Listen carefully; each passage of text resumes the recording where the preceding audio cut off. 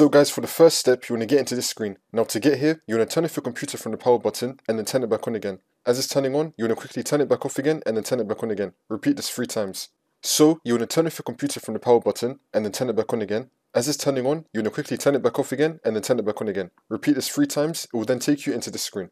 And now it's going to say that your PC did not start correctly, you want to click on advanced options. And now once we're here, I'm going to be showing you three methods on how you can fix this problem. So for the first method, you want to click on troubleshoot, advanced options, and then system restore. If you do not see system restore, then you want to click on see more recovery options, then it should appear right here. So you want to click on system restore. If you have a restore point that's been enabled on your computer, you want to click on next, and then you want to go back to your restore point. See if that works for you.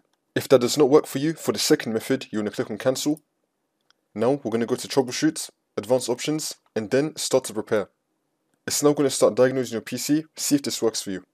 If that did not work for you, then we're going to go to advanced options, troubleshoot, advanced options again, and then command prompt.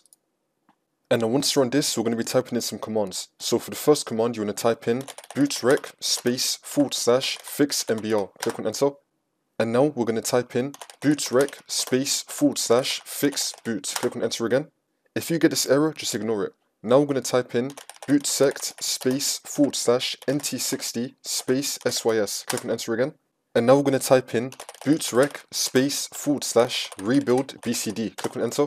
And now for the last command, you want to type in sfc space forward slash scan now and then click on enter again.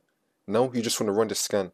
Wait for the scan to load, it may take a while. And then once you complete the scan, you just want to close out of command prompt, continue to Windows, and then the problem should be fixed.